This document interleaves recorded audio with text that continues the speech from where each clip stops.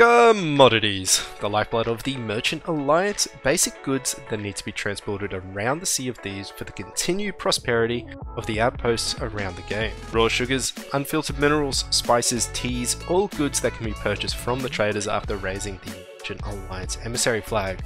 The way the commodity system works in Sea of Thieves is that each outpost has one type of goods that it has an excess of and one type of goods that it requires and will pay a premium to any pirate willing to deliver them.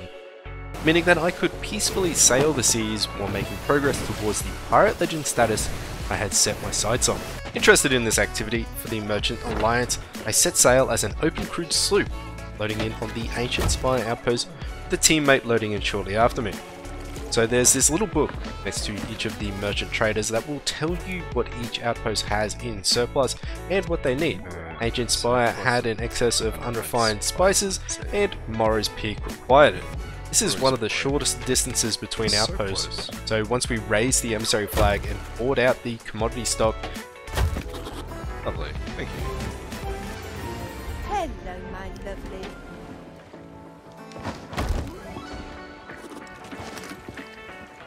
So I'll start pulling up the anchor. set sail to Morrow's Peak.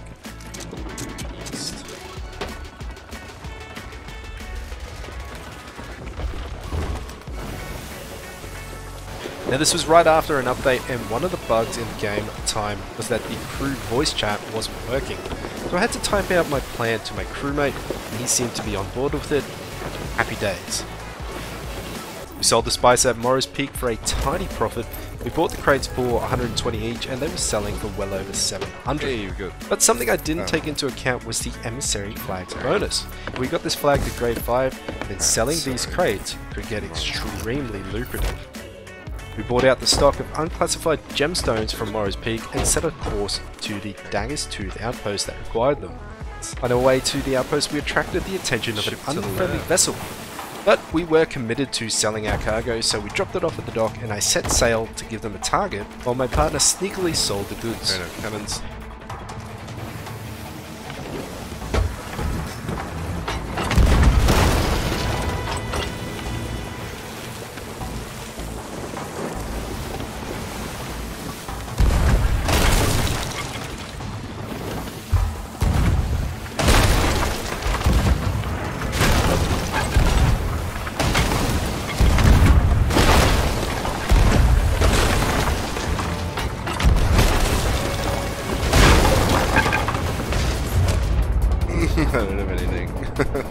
Committed to the merchant's lifestyle, and I hadn't actually gotten any Oh. food or supplies, so I died rather quickly. We sold our loot and reset on the other side of the map. Didn't have um, At Sanctuary Outpost, we raised the emissary flag once again, bought out the stock of unfiltered minerals. Good day.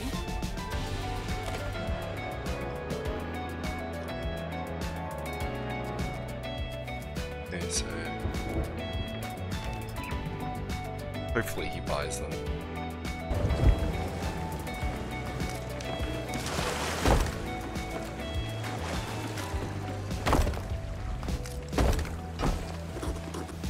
We spotted a skeleton sloop off in the distance, and we quickly sunk it, rewarding us with a cheeky grade 3 emissary, immediately meaning our goods were going to sell for a lot more when we got to our destination.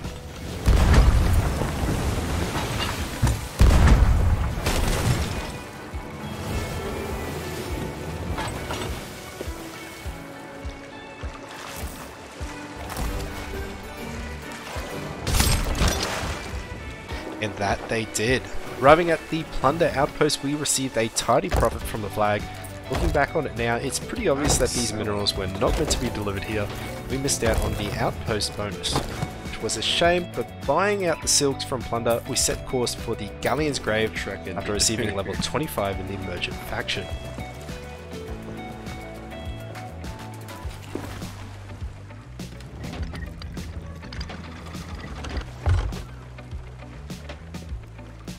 We continue the commodity gameplay loop of buying and selling cargo, achieving a grade 4 flag when I was hit with my first ever in-game server merger.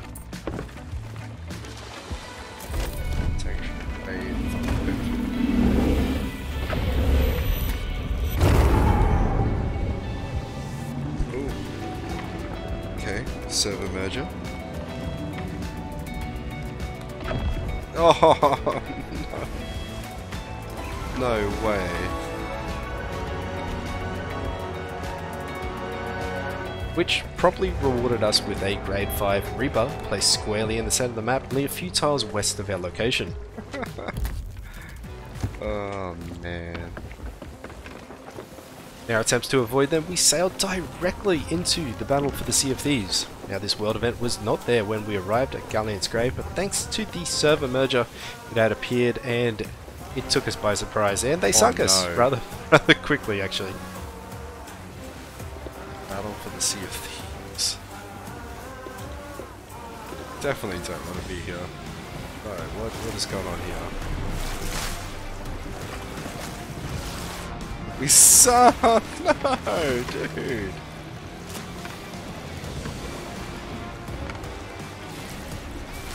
We had two galleons on us!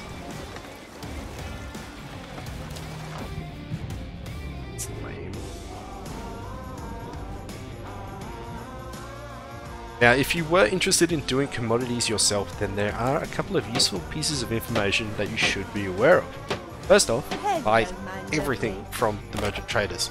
Not only the excess stock, but all the crates you can. Because you're going to be raising and leveling an emissary flag, these extra crates are going to help the leveling process and give you a profit because of the emissary bonus value.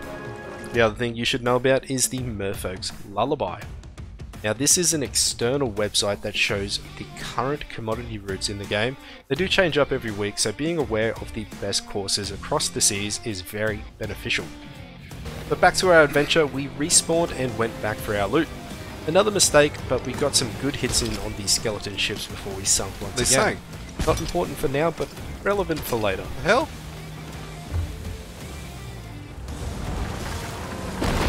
Oh, fuck off. Suck again.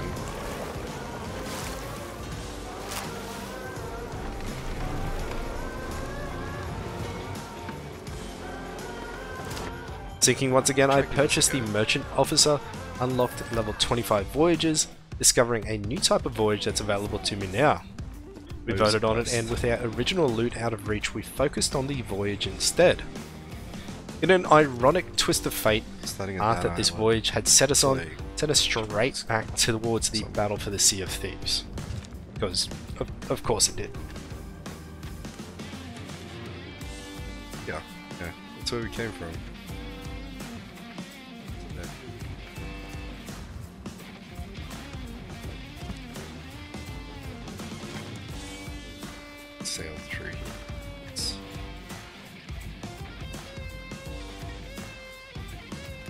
We tried to skirt the edges of the encounter, intent with just grabbing our voyage item, but it appeared as though the enemy ships neglected repairs from the damage we had done to them earlier, and the new ships that spawned ran straight into rocks, allowing us to clean up the battle for a heap of loot, even finding Oh, wow, our original cargo Shit. and emissary flag as well.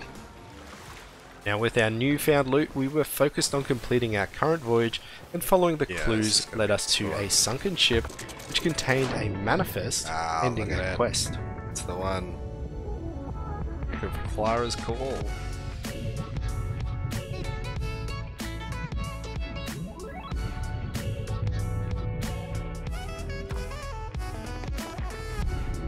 Shark beer there. Exotic silks.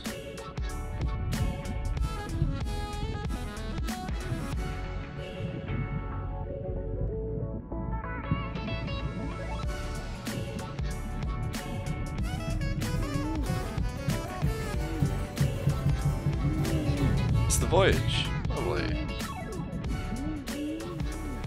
We were content with our efforts for the day and headed back to an outpost to sell our hard-fought treasures, only to be met with the Kraken taking hold of our humble sloop. It's the Kraken. No.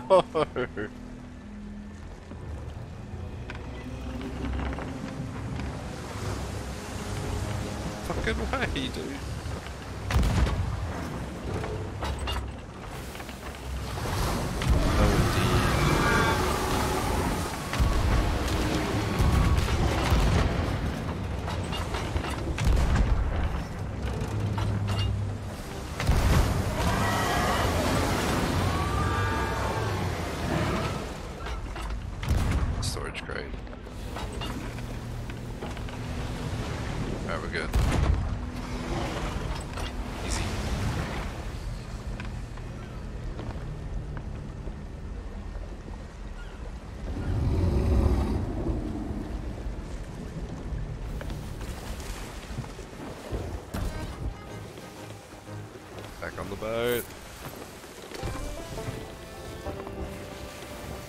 After all of these encounters with pirates, skeletons, and sea monsters, we finally made it to an outpost only to be met with more enemy pirates. We made quick work of their ship and sent them back to Davy Jones' locker with the help of my Eye of Reach, stealing all of their plunder to boot.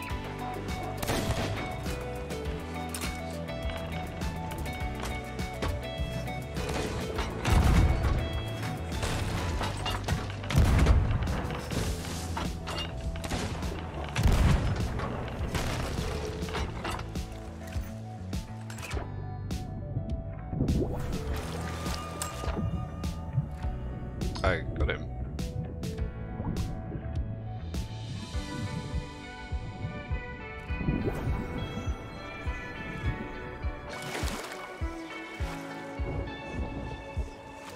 At the end of the day, we made it away with a cool 100,000 gold, 150 doubloons, and an epic tale to tell.